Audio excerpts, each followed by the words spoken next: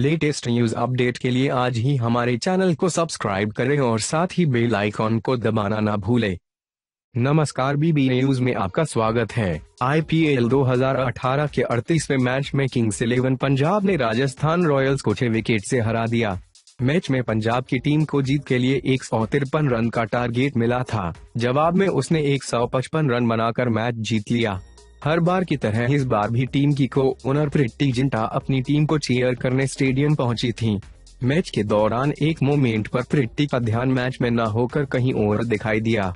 ये घटना राजस्थान की इनिंग के दौरान हुई, जब उसका एक विकेट गिरा था।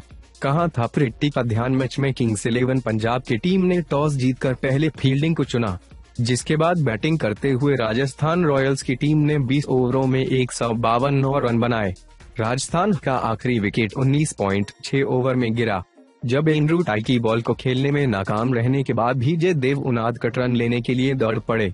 उनाद कट से मिस होने के बाद बॉल सीधे विकेट के पीछे लोकेश राहुल के पास गई, जिन्होंने वहीं से खड़े होकर स्टंप पर थ्रो मारा और नॉन स्ट्राइकर अन से दौड़कर आ रहे श्रेयस गोपाल को रन आउट कर दिया।